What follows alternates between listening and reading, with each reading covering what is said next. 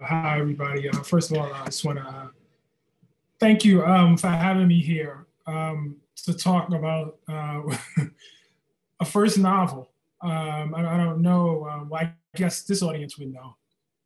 Um, first novels are, are, are fairly notorious uh, for being published and you know kind of disappearing in, into the vacuum um, no matter who the author is and there's a very uh, unfortunate record of uh, essayists and nonfiction writers um, who go off to pr- pursue fiction uh, and if only to preserve our um, impressions of their nonfiction writing and our memories and their you know their their reputation in our minds, uh, we swiftly forget that they uh, wrote uh, fiction. So I'm gonna take it uh, something as a as a as an honor, no small honor, um, you know, to to be invited here uh, to talk a little bit about about the Water Dancer. Um, so I, you know, one of the things I, I, I really want to emphasize is the age of this book, um, because I think uh, we, you know, obviously see a book at the time of its publication and oftentimes, to reader, again, maybe not to this audience, there's a sense that this thing sort of kind of popped out fully formed. But I think, you know, as, as several of our authors on, on, on the panel have done, um, I'd like to take you back through the, you know, biography of this book, uh, speaking on its inspiration and, and where it came from. Um, so there, there, are two things. Uh, if you could see behind me, there's a bookcase uh, filled with uh, books from uh, the Dungeons and Dragons universe, which I was enticed with and entranced with when I was a kid. Uh, some comic books, which I was also entranced with when I was a kid, and what I have uh, the luxury of to this very day, in fact, still writing.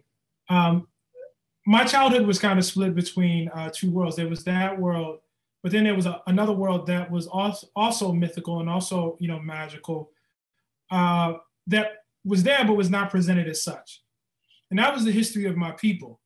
And that was specifically the history of my people uh, under the 250 years of enslavement in this country. Uh, the, the era of enslavement in this country, I always emphasize to, pe- to people, is much longer, or in, enslavement on these shores, I should say, for African Americans is much, much longer than the period of our freedom on these shores.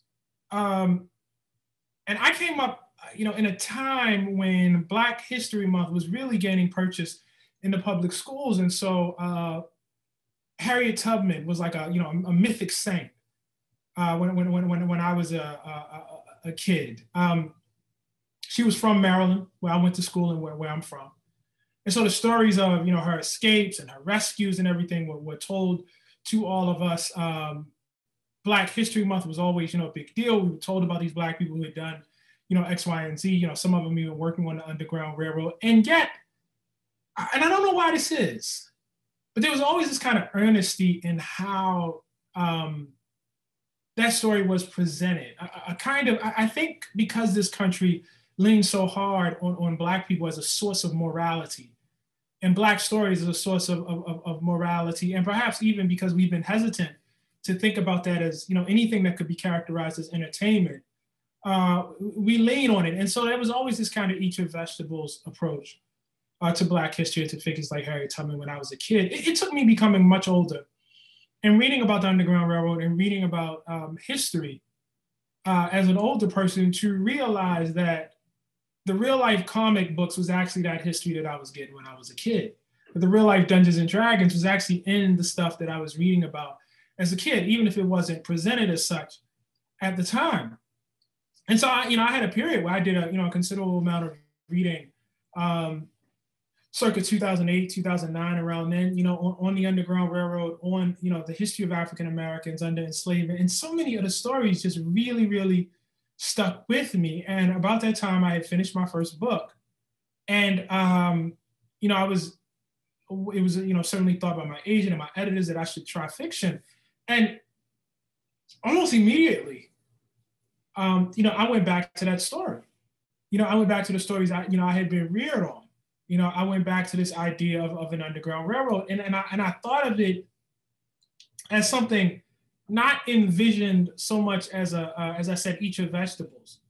You know, as 100 facts that everybody should know about Black people, not so much as a you know Black History Month commercial that you see in your programming, not so much as a list of facts that might be dispensed at your Kwanzaa celebration.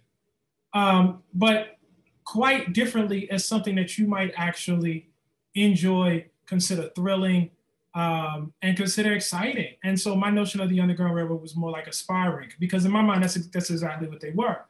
And to write it almost as spy fiction. Um, but as I did the research, you know, on the firsthand accounts of the people from the time, you know, one of the things I found is, in fact, a lot of that fiction or a lot of, you know, the way those folks saw the world was actually induced, you know, much of what, you know, Carla referred to in her, her earlier talk, what we call in fiction magical realism. The world of magical magic and myth was all around the world of, uh, of the enslaved. And so I, I thought about what it would meant for me, for me to actually buy into that and uh, you know uh, go you know as, as, as, deep as I possibly can, you know, into that. And so that that was like a um, a big thing for me. Um, and so when I wrote the Water Dancer, I was thinking about an adventure story, you know, and I was thinking in many ways of upending the way we think about myth in this country. Um, our stories oftentimes, you know, lean on to, to, to be frank, a, a kind of white myth and, and white canon. Uh, we're big on, for instance, our you know ancestry in, in, in, Europe and you know Lord of the Rings and everything. And obviously, I love that. Like I said, I'm a huge Dungeons and Dragons. I was a huge Dungeons and Dragons head. But one of the things that you know implicitly was argued in uh, the Water Dancer was that, in fact, the true American mythology, the truest mythology, is actually in the stories that happened right here on these shores. Uh, what is thrilling and what is exciting and, and, what is ours is exactly the thing that we so often want to erase the story of enslaved people in this country. And I can see that in the culture. You know, you watch Mad Max, you know, Fury Road, the movie I love. What is that but a story of the Underground Railroad and the escape from enslavement? That's exactly what it is, you know? And um, for me, what I was doing was trying to reach back into, you know, the pure you know, of, of, of what, you know, our, our, original source material was for all of those stories in, in, the first place. The last thing I'll say is it was extremely um, important as I was having that realization to me to have a character like Hiram Walker who was having this realization himself. Um, in addition to being, you know, an attempt to render, uh, I would argue, uh, the Underground Railroad almost as genre fiction the character Hiram Walker is on a voyage of discovery himself. He is, you know, in a most, you know, typical sense, in a, in a coming of age narrative, but he's also in the process of understanding who the real heroes are in his world and who they are not. Uh, he comes up, you know, is born on a plantation. His father is white and is the owner of the plantation. His mother is, is not there. And he comes up in many ways worshiping the myths that he spoon fed by his father. And the process of the book is him coming to realize that the true stories, the true myths, the myths that actually reflect things about the world and reflect things about his history are actually uh, uh, with him. Obviously, I'm very much in love with this book. I'm very, you know, happy about it. I'm very pleased with it. It took me 10 years to write. You know, I, I look forward to digging back into the world of fiction again. Um, and if, if I have, you know, done anything to convey that that love and that, that affection for the world in the book, you know, I, I hope that it, you know, might be something that, you know, you, you guys yourselves would consider as conveying it also. Thank you.